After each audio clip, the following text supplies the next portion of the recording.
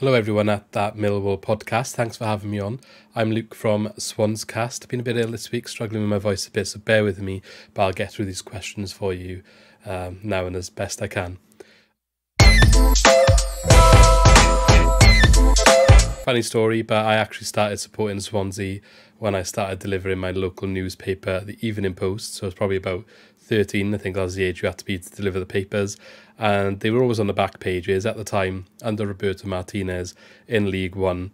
We were coming up through the leagues. I think we just got promoted to League One not so long ago. Had a couple of good seasons and went up to the Championship as well then, just after I started supporting them.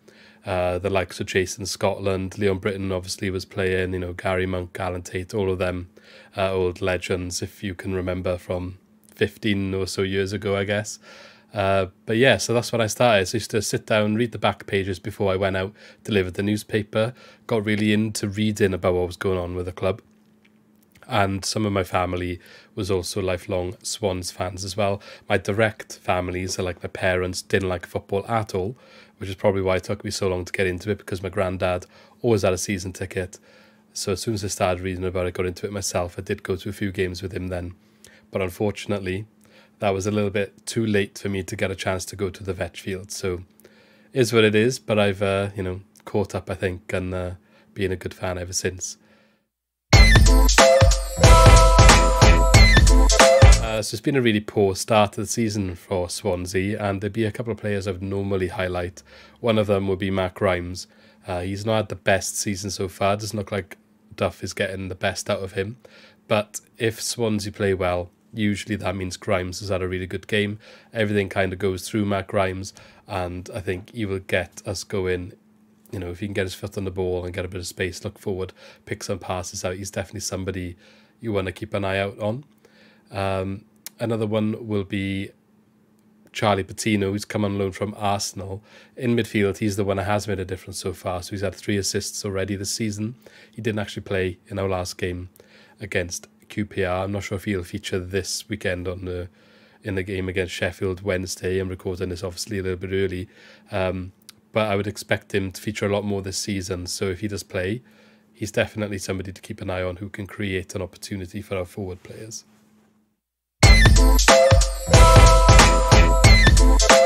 Uh, really hard question for me to answer at the moment, I'll be honest with you, because one of the big criticisms around Swansea at the moment is the fact that we can't tell what the strategy is, what the tactics are, you know, what's the game plan. So it's really difficult for me to say, from what I've seen this season, a way that Swansea are going to look to use their strategy to kind of exploit your weakness. Um, from what I understand, you guys play quite defensive or counter-attacking yourselves, so really not sure how that how Michael Duff's going to set up and fare against you. Maybe we'll have more of the ball, more akin to the fact that we were used to it under Russell Martin and some of the players are still in that mind frame. But that's not necessarily what Duff wants all the time. He wants to be a bit more direct and quicker with the ball and more pressing, but we just haven't really seen it yet. So it's hard for me to sort of answer that question because I'm not confident there will be any specific ones that are on display to combat any weaknesses probably a nice one for you to hear, I guess. I think Millwall will definitely be favourites. Swansea, as I've said, have had a really bad start to the season. They haven't won a game yet, um, as of recording. This is before we play Sheffield Wednesday. But, you know, if you're looking at it from a Millwall perspective, you need to kind of feel like you're going to want to escalate our woes, if you like, and make us feel even more sorry for ourselves than we already are.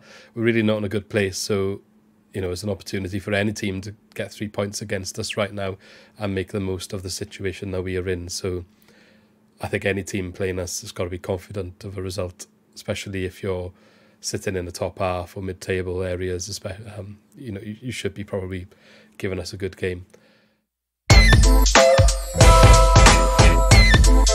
Think you'll pose the biggest threat attacking because we're not the best at defending right now. Some hangover from Russell Martin, Swansea last year. Look at Southampton right now if you want an example of exactly what I mean there.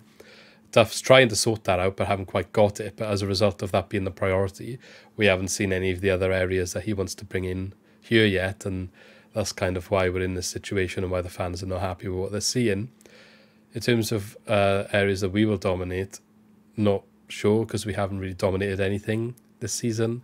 Maybe we'll have the ball in non-offensive positions and look decent when we're not being pressed, but that's about it. I haven't really got that much positives to say right now because of um, what we've seen so far this season, which yeah, now you're really used to saying stuff like that, especially after last season. At least when we weren't winning last year, you'd definitely say we'd dominate the ball, but that's not our game plan anymore.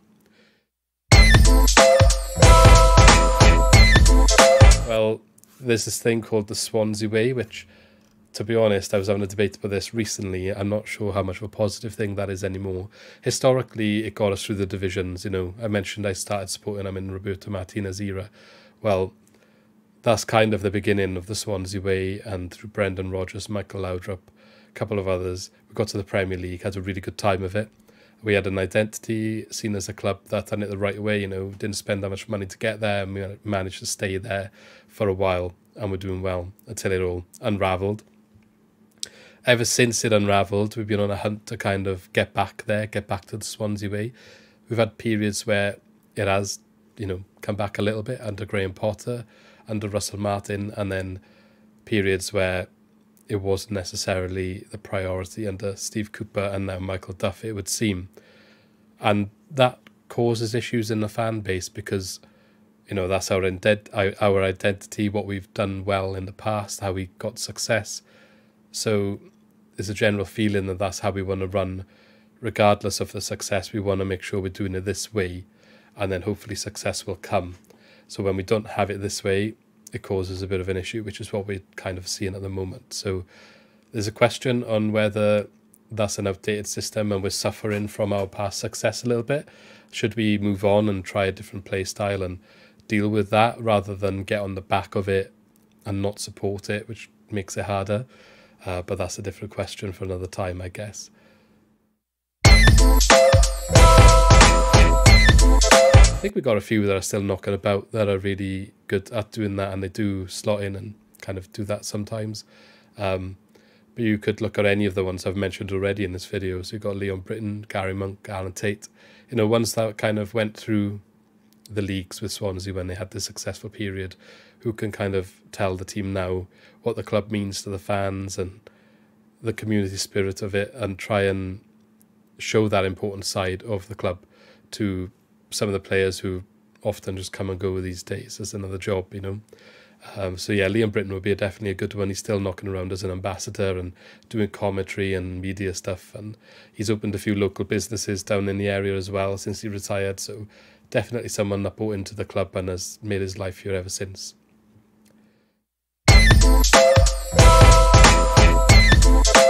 interesting question. I'll have to have a quick think about that one. Um, so if your if your club's players organise a charity pub crawl, I guess we have this thing that's called the Mumbles Mile, where it used to be back in the day you would walk from either way round. I think probably starting in Mumbles and do a couple of the pubs there. I can't go through and name all of them, but there's basically a long road that connects all along the coastline, Swansea Bay, connects Mumbles, which is an affluent area, a lot of pubs, a lot of quirky areas, you know, nice place to go in the summer, especially. A little bit of a seaside resort and nice character down there with a few pubs. And you walk down this main road, it can it takes you all the way to Swansea city centre, and you end up on the famous Wind Street, where there's obviously a lot of bars there as well. So I guess that would be the the route to take for any sort of pub crawl in Swansea, and you definitely have a good time along the way. And there's definitely a couple of bars serving local brewed product as well that I'm sure you'd love to get to try on the route. I think a lot of Swansea fans right now would give a really nasty answer to that question. Michael Duff is really not connected with the fans, so trying to think of one that's not too mean, really. But um, I think a lot of Swansea fans would view him as a kind of Mr. Burns character. Well, oh, it's hopeless. I'll have to play myself. You know, he's making out like he's got the best for the for the club, best for the area, but personal gain, not really doing it for the right reasons. I don't necessarily agree with that, but if you look at the kind of um, the view on him at the moment from the fan base. That's definitely the way that people see him. They don't think he's brought into the town, sorry, the city, the the club, the culture, the community. They, you know, they they just kind of disconnected with him, and I think that's a decent comparison. But I don't think necessarily what Michael Duff is like as a person. It's just kind of the narrative that we've got down here at the moment. Excellent. Well, I think Flemming is uh, very creative for you and he scores a lot of goals from midfield, and we can't really score so much or create that much at the moment. So I think he would definitely be a good addition, even if it was for just one game to try and get us ticking, get us moving in the right direction. And I'm, I'm sure we would definitely appreciate him if we managed to get him.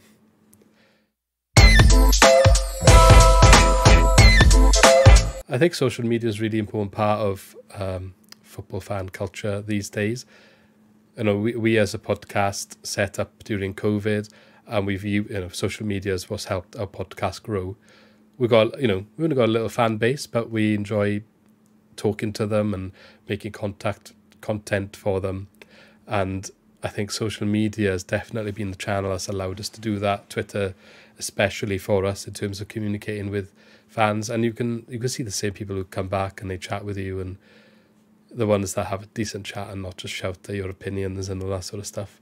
But yeah, I really, really think if you use it well, it's definitely a good, good positive. It's just sometimes it can also go the other way, where a lot of the loud voices are the ones that are maybe a bit negative and it's just shout, shutting out the bad stuff and trying to use it for the positive uh, things going forward, really.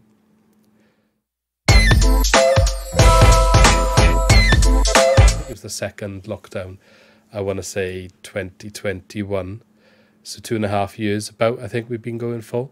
Uh, we're called Swanscast Podcast. You can find us on YouTube, um, all podcast platforms, Spotify, Apple, Google, all of them, and also social medias with Twitter being our most active.